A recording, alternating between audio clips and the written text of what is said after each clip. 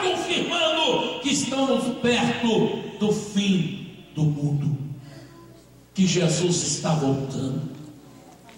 O sol nunca se ouve tão quente como está acontecendo em alguns países. Está previsto para este verão na América um dos maiores calores que já se ouve na história. As geleiras do Alasca está se alascando tudo. É. Estão se derretendo por causa do sol quente que está sobre o planeta Terra. Mas o sol está provando para mim e para você que o que há de vir virá e não tardará. Jesus está voltando. A lua está provando para mim e para você que a qualquer momento Jesus está voltando. As placas, como é que chama? Tectônicas. Ah. Deu uma mexidinha assim, ó. Foi suficiente para acabar com uma cidade. Só que essas placas, quando o meu Jesus permitir, elas não vão mexer só assim, ó. Elas vão fazer só. E o planeta chamado Terra poderá terminar em pó e cinza, porque dessa vez não será o dilúvio, vai vir com fogo. Os artistas de Hollywood, acredite que eles já estão preparando o povo através dos seus filmes que vai acontecer no planeta Terra. Tem dois filmes para sair agora no cinema. O mundo sendo destruído pelas bolas de fogos que cairão do céu sobre o planeta Terra. Fizeram o filme em 2012, só que não tiveram tanto sucesso, porque quase toda a humanidade conhece e sabe que o mundo não vai acabar com água e sim com fogo. Agora vamos fazer o filme que vai acabar com fogo para ver se vai ganhar mais dinheiro, porque esse 2012 não deu certo não.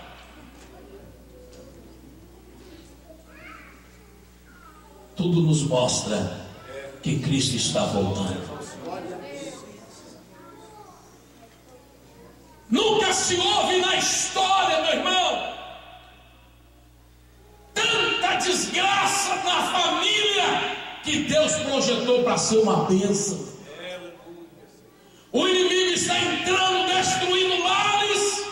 Nós aqui de braço cruzado achando que está tudo normal. O inimigo não para, está continuamente entrando nas famílias e nós estamos dando risada achando que as coisas estão bonitas. Filho mandando o pai calar a boca,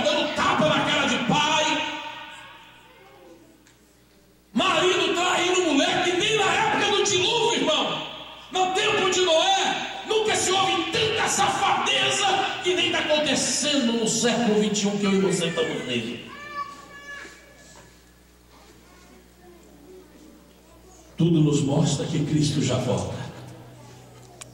Aleluia. Mas o Senhor, através do apóstolo Paulo, inspirado por Deus, ele escreve uma carta a Tessalônica e diz: Meus irmãos, fica esperto, vigia, não fica dormindo, irmão, porque o Senhor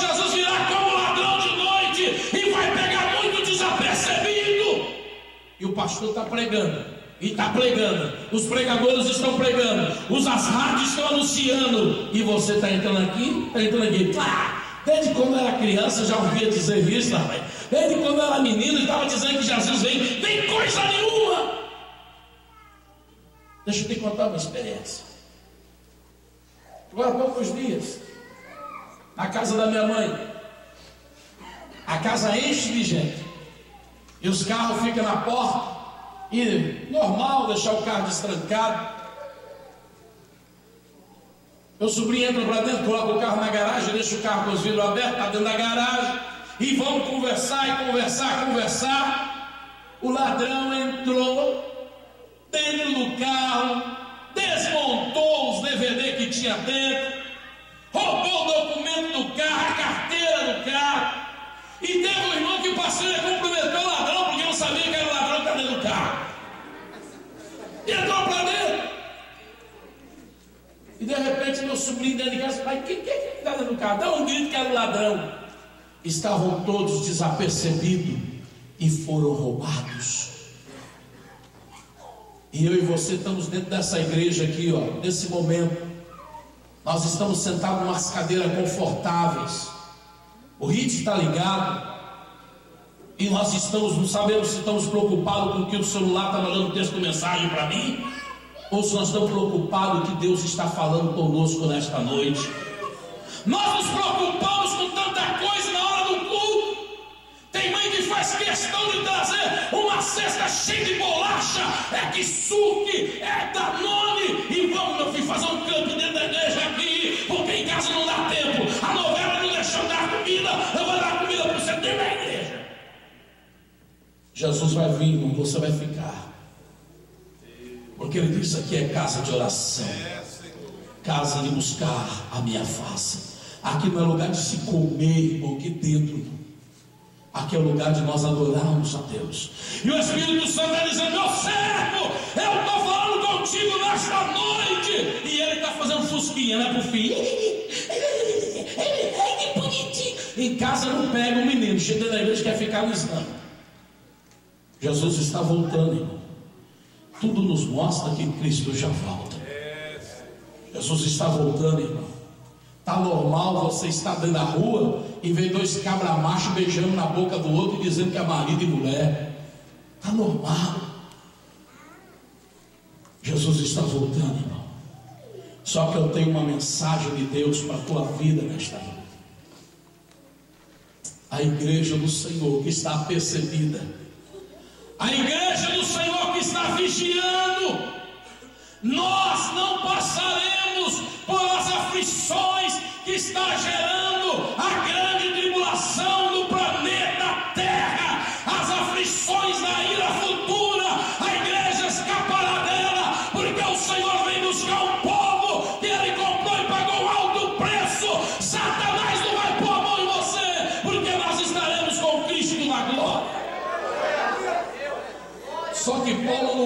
ele começa a acelerar o negócio aqui, ele começa a dizer: esses últimos dias, ele não está dizendo para o mundo para boate, ele não está dizendo para os bar ele não está dizendo para quem não é cristão, ele está dizendo para os cristãos,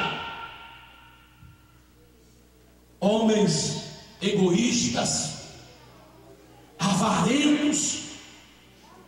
Você sabe o que é egoísta? Você não veio terça-feira, você não sabe, então eu vou te explicar amantes de si mesmo.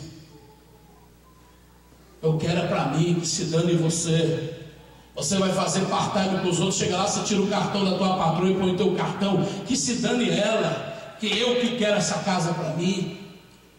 Cara leva outro para fazer part-time na carpintaria, no outro dia ele vai lá e começa a fazer proposta mais baixa para o patrão, para catar o serviço do outro. É que se dane que é meu irmão, eu quero é eu. Me defender na área, meu irmão. Quem é esperto sobrevive mais. Isso é na lei do diabo. Na lei de Deus, o humilde é o que vence. Aleluia. Quanto mais humilde você for, mais exaltado Deus vai te colocar na terra dos viventes. Enquanto você pensa só em você, Deus